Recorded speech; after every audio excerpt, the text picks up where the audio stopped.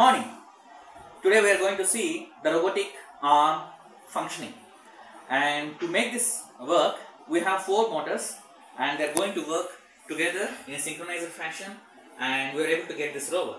So the objective of the day for the rover is it need to go straight and take right and uh, it need to pick up that particular uh, uh, white color uh, item okay so uh, please focus the camera on that direction okay? That direction that, that is the object which is there. Which is on the path. It's not on the path it is uh, we need to take a L shape to meet that particular thing. And then again we need to bring it uh, backward and we need to put on the left hand side we have a black uh, plastic uh, uh, box here. So that need to come and it need to fit here. Okay? So i believe that now you um, now you are able to understand where is the source and where is the destination. So now this particular uh, rover with its robotic arm synchronized fashion of four motors going to do its wonder. Okay? So hey robo are you ready? Yes. okay. Fine. Now let us move forward. Okay. Now take a turn. Move forward super bend now pick it up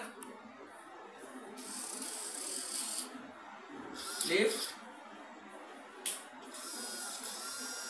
excellent excellent now come back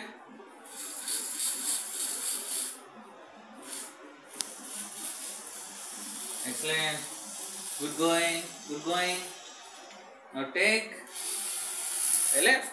Excellent. Yeah. Move forward. Move forward. Move forward. Take a little turn. Okay. Move forward. Now slowly. Slowly slowly slowly drop it. Okay. And leave it. Okay. Now come back and lift your arm. Yes. Come back. Now take your turn. Good boy. Back in position. Okay. And close your arm. Okay. Go down